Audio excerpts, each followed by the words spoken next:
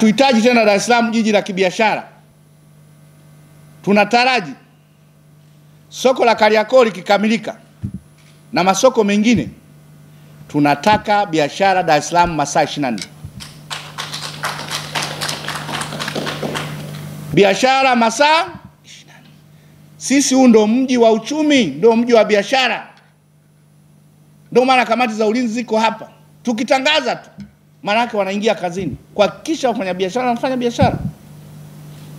Soko la Kariakoo likikamilika, na hata kama halijakamilika kabla, tukaona mazingira yote mazuri, biashara itafanyika masaa 24 Dar es Salaam.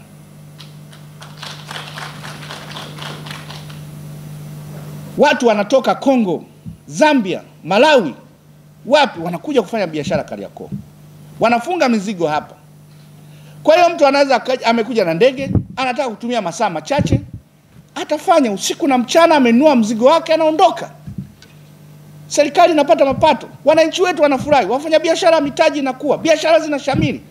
Tuko tayari sisi serikali kuhakikisha mazingira hayo ya watu kufanya mas, biashara masaa 24 yanawezeshwa, yanawezekana, lakini tujitahidi kila mitaa, na hapa ndo maana mamea mpo, tumeruhusiwa kuwa na asilimia 60 ya fedha ya maendeleo.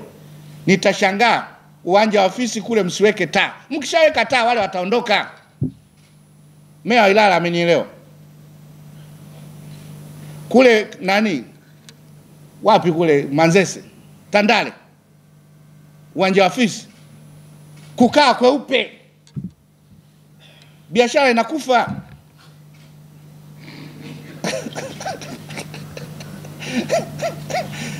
Kila mahali kuwe kweupe, tuweke taa katika mitaa yetu, kwanza kwa kupendezesha, pili kwa usalama wa watu wetu. Kwa hiyo tutenge biashara. Barabara zimewekwa lami sasa hivi, kila barabara itakayojengwa lami kuna component ya taa, lakini zipo ambazo zilijengwa zimewekwa lami, lakini kwa wakati ule hakuna swala la taa. Mitaa yetu ipendeze, tuweke taa, tumieni hivyo. Sasa uwezi ukaruhusu biashara masaa 24 mle Kongo unaingia kuna sehemu giza, au maeneo mengine Kariakoo giza.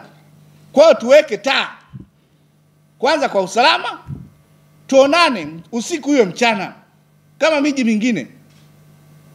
Maana kuna sehemu unaweza ukaenda ukakaa ukaambiwa kumesha kucha, wanaambia mbona nimeona tof sioni tofauti ya usiku na mchana. Usiku unajua tu utakapolala kitandani, lakini ukitoka unaona kweupe. Dar es Salaam inawezekana. Kwa hiyo kazi kwenu.